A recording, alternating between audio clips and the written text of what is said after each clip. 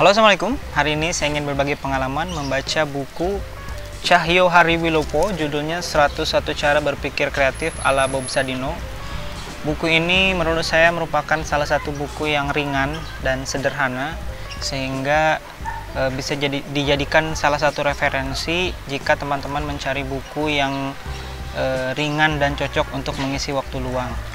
Eh, bahasan-bahasannya sederhana, bahasa yang digunakan juga sangat mudah dimengerti dan tidak memerlukan pemikiran atau beban otak yang begitu berat ketika membaca dan mencerna apa yang disampaikan penulis dalam buku ini. Buku ini memang kelihatannya tebal ya, tetapi ketika saya membacanya saya tidak merasa buku ini sebagai sesuatu yang tebal karena pertama eh, fontnya juga tidak terlalu kecil ya. Font yang dipilih oleh penerbit ini tidak terlalu kecil. Eh, cukup besar spasinya juga lumayan. Lalu eh, ada banyak space juga apalagi di sini ada ada foto ada ada banyak halaman yang seperti ini yang eh, space space yang lumayan memakan ruang kadang-kadang ya saya ngelihatnya. Tapi nggak masalah sih bukan masalah besar. Cuman maksudnya ketika kita membeli pertama kali buku ini atau ketika saya dulu pertama kali membeli buku ini tuh saya ngeliat ih bukunya tebel nih. Apalagi di depannya sampulnya dengan tulisan-tulisan yang kayak koran gini kan tebel. Jadi saya mikirnya kayaknya dalamnya tebal juga gitu. Atau spasinya dikit fontnya kecil. Tapi ternyata ketika saya baca e, tidak setebal yang dibayangkan. E, tetapi apakah hanya format tampilannya aja yang tebal? Saya kira isinya juga begitu jadi saya ngerasa ketika membaca buku ini dari awal sampai akhir ada banyak sekali hal-hal yang eh, saya kira sangat bisa dipadatkan. Karena banyak sekali pengulangan yang dilakukan oleh penulis baik itu kutipan untuk kalimat yang sama ataupun eh, substansi yang sama atau apa ya eh, pemikir atau gagasan yang sama diulang-ulang begitu. Cuman dalam dalam paraphrase yang berbeda-beda aja uh, mungkin kalau pertama saya ingin membahas dari judul ya. Di sini ada 101 cara berpikir kreatif. Saya ngerasa angka 101 ini terlalu dipaksakan untuk kebutuhan marketing. Karena, karena memang judulnya ada 101 ya. Jadi kalau kita lihat di daftar isi uh, nih mana daftar isi? Nih ini sampai daftar isinya memang sampai ada angka 101 dan dulu saya pernah belajar salah satu clickbait e, buku yang bagus di pasaran atau tulisan yang bagus di pasaran itu adalah e, judul-judul yang menghadirkan angka kayak misalnya 7 kiat sukses atau 10 cara plus satu e, menanam singkong misalnya. Atau misalnya lagi 5 cara lolos SMPTN atau 8 eh, cara tips jitu apa gitu. Termasuk kayak ini 101 cara berpikir kreatif. Jadi ada angka-angka itu memang membuat e, pembaca atau pembeli atau calon pembeli lebih tertarik daripada cuma sekedar cara berpikir kreatif ala Bob Sadino. Nah, cuman angka 101 ini saya ngerasa terlalu dipaksakan karena kenapa? Ada judul-judul tulisan dalam buku ini yang kesannya sama jadi sangat bisa dipadatkan sebagaimana yang saya bilang di awal. E, terus yang kedua saya kurang setuju dengan dengan diksi kreatif ya karena kalau saya baca isinya e, kayaknya lebih cocok judulnya cara berpikir goblok ala Bob Sadino gitu. E, kayaknya itu pertama lebih eye catching dan lebih berani ya kalau memang targetnya untuk mencapai clickbait e, pembaca gitu saya kira itu lebih menjual untuk marketing. Jadi cara berpikir goblok para musuh ini. Cuman e, meskipun di sininya ada juga nih di bagian belakangnya jadilah orang goblok. E, cuman mungkin ada kemungkinan ya yang saya baca buku ini sebenarnya adalah ulasan dari banyak buku saya ngelihatnya. Atau atau si penulis ini sering kali mengutip e, dari buku yang sudah ada dengan judul yang mirip yaitu judulnya Belajar Goblok dari Bob Sadino karyanya siapa gitu. Jadi ada buku lain yang judulnya Belajar Goblok dari Bob Sadino. Sehingga ketika saya tahu bahwa penulis sering kali mengutip isi dari buku yang tadi yang Belajar Goblok dari Bob Sadino dan dia menulis buku ini, dan kutipan itu ditaruh di buku ini sebagai bagian dari buku ini saya justru jadi bertanya-tanya apa bedanya buku ini dengan buku yang itu atau yang sudah ada? Sehingga apa yang membedakannya? Apa istimewa yang ini daripada yang itu?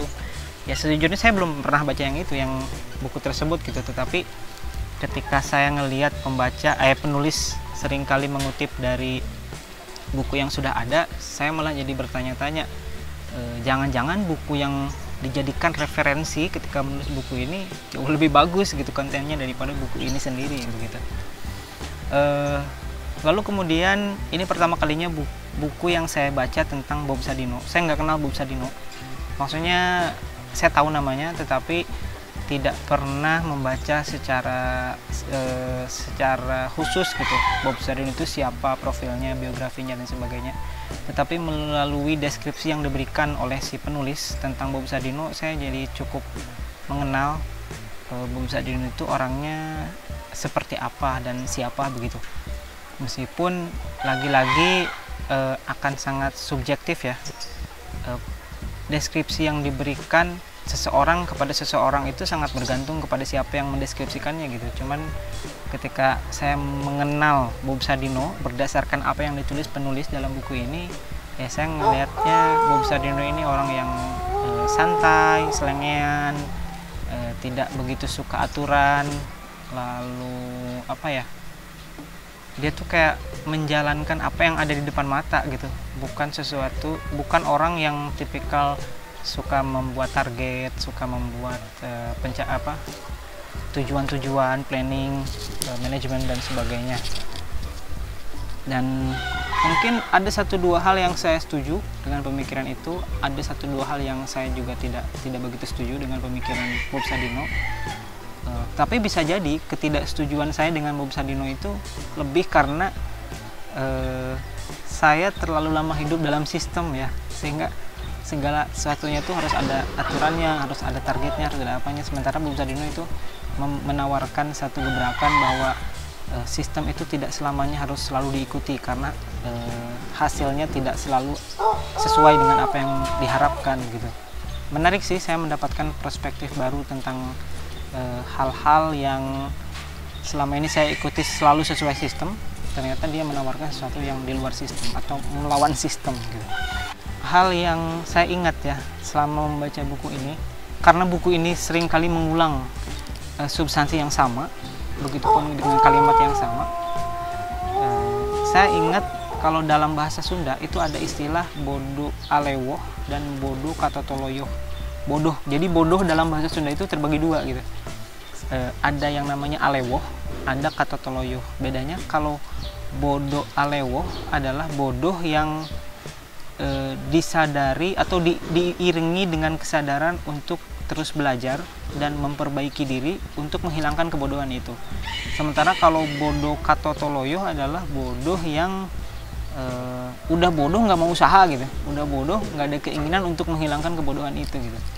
Dan si Bob Sadino ini dalam buku ini uh, mengajak pembaca atau si penulis ya berdasarkan apa yang berdasarkan kehidupan yang dijalani oleh Bob Sadino gitu mengajak kita semua untuk menjadi orang yang bodoh alewo alias selalu merasa bodoh sehingga perasaan itu akan membuat kita senantiasa mau dan berkeinginan untuk belajar gitu. Karena kadangkala kata Bob Sadino orang yang e, pintar atau orang yang merasa pintar itu selalu cepat puas selalu bisa menyelesaikan segala sesuatu e, apa ya dengan sesuai kemampuannya atau kadang-kadang terlalu menyepelekan seolah-olah dia mampu melakukan segala sesuatu gitu. Dan mungkin definisi goblok dalam buku ini atau ada banyak kata goblok ya dalam buku ini jadilah goblok e, goblokkan dirimu gitu atau bodohkan dirimu gitu. Jadi bisa jadi definisi goblok bagi Bob Sadino adalah jadilah orang yang selalu bodoh alewoh gitu atau orang yang selalu merasa dirinya tidak pernah punya kemampuan. Bahkan uh, dia bilang atau dalam beberapa bagian dalam buku ini Bob Sadino sering kali menyarankan orang untuk uh, jangan kuliah gitu. Keluar dari sekolah. Kalau mau berbisnis lakukan uh, learning not studying gitu. Jadi ayo beraksi. Jangan belajar ya, cuma teori. Karena kalau menurut dia orang yang selalu belajar teori tanpa aksi atau misalnya itu hanya akan membuat orang itu pintar berteori tetapi tidak pintar dalam beraksi gitu. Makanya kenapa dalam dunia bisnis dia bilang ada banyak orang yang menjadi konsultan bahkan ada banyak perusahaan yang menggunakan jasa konsultan. Padahal konsultan itu adalah orang-orang yang menurut Bob Sadino sebagai orang-orang yang pintar berteori tetapi tidak pintar melakukan aksi. Kalau memang seandainya dia pintar dalam hal bisnis eh, ya mereka sendiri yang akan menjadi bisnismen gitu. Bukan menjadi orang yang menjadi konsultan atau memberikan arahan tentang ini tentang itu tentang marketing eh, strategi pemasaran tentang manajemen tentang dan sebagainya. Kelebihan lain ya dari buku ini adalah buku ini mengenalkan pertama mengenalkan Bob Sadino secara komprehensif. Bob Sadino sebagai pribadi yang profesional maksudnya bukan kehidupan pribadinya. Saya nggak tahu kehidupan pribadinya seperti apa istrinya anaknya sebenarnya karena tidak dibahas buku ini tidak disinggung. Tetapi secara profesional eh, saya sedikit banyak mengenal Bu Sadino itu punya pemikiran yang seperti apa punya tindakan yang seperti apa punya karakter dan attitude yang seperti apa gitu dalam kehidupan sehari-harinya eh, sebagai seorang bisnismen yang sukses.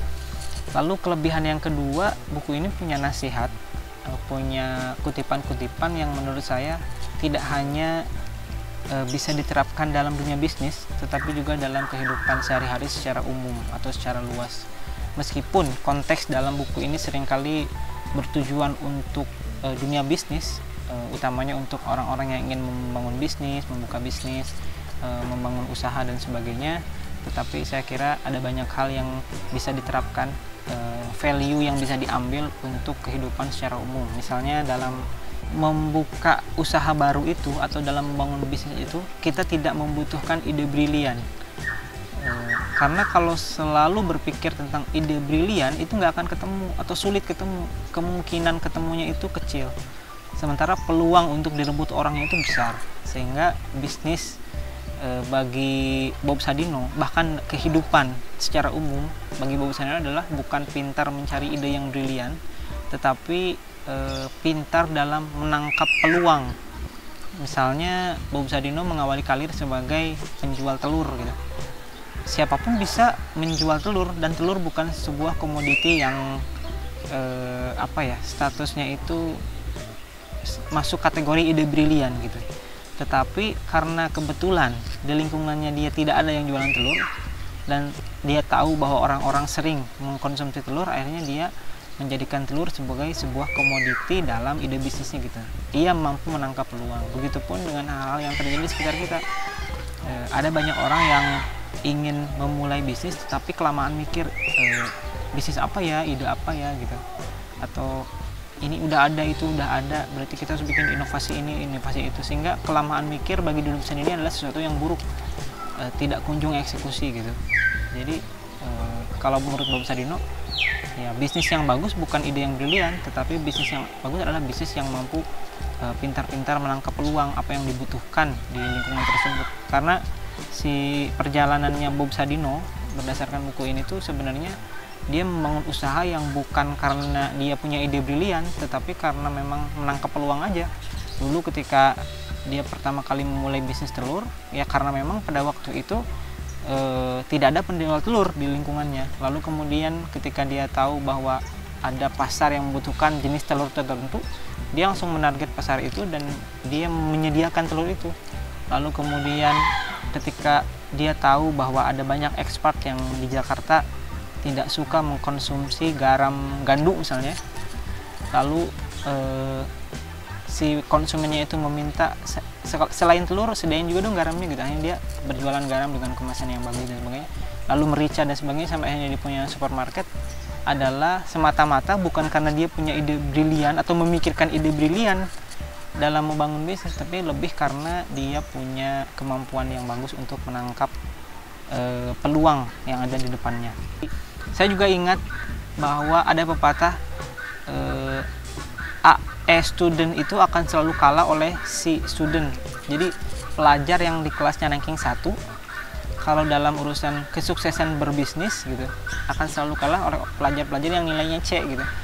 Karena e, salah satu kemungkinan terbesarnya karena pelajar yang selalu di kategori A gitu ya yang nilainya bagus yang pinter secara akademis uh, adalah orang-orang yang uh, nurut pada sistem yang berpikirnya selalu uh, apa ya ibaratnya itu lurus gitu. Tidak berani mengambil resiko yang besar atau selalu memperkecil resiko. Sementara orang-orang yang C ini yang bernilai C gitu atau mungkin yang duduknya di belakang ya kalau di kelas mereka adalah orang-orang yang berani mengambil resiko eh, berani berani gambling gitu. Dalam hal apa pun ya dalam bisnis dalam eh, mencari pekerjaan dan sebagainya dan lain sebagainya. Dan menurut dia untuk menjadi seorang pebisnis yang sukses yang dibutuhkan itu adalah orang-orang yang punya mental seperti si Cek Sudun ini yang berani berbuat apa pun yang berani mengambil resiko Eh, berani untuk tidak menuruti kaidah-kaidah umum yang berlaku di masyarakat. Tapi bukan berarti berani melabrak aturan norma pada hal yang negatif ya, tapi maksudnya uh, berani melakukan lebih banyak kegagalan dibandingkan dengan orang-orang yang uh, selalu menghindari kegagalan atau menghindari resiko. Uh, saya cukup menikmati meskipun sejujurnya tidak begitu menikmati ya maksudnya tidak begitu menikmati adalah karena judulnya terlalu banyak ada 101 jadi saya sulit mengingat sebenarnya di poin mana nih yang benar-benar nempel kalau seandainya poinnya mungkin cuma tiga cuma lima jadi saya ingat oh poin satu ini dua ini tapi kalau 101 kemon kebanyakan. Uh, saya tidak mengingat uh, poinnya secara detail setelah membaca buku ini tapi saya hanya mengingat esensi-esensi atau substansi apa yang disampaikan penulis tentang Bob Sadino Oke, saya kira itu apa yang bisa saya sampaikan hari ini. Pengalamannya demikianlah adanya dan saya kira tidak ada salahnya jika teman-teman juga ingin membaca buku ini untuk mengisi waktu luang supaya waktu luangnya ya setidaknya lebih bermanfaat lah dengan membaca buku. Terima kasih. Assalamualaikum warahmatullahi wabarakatuh.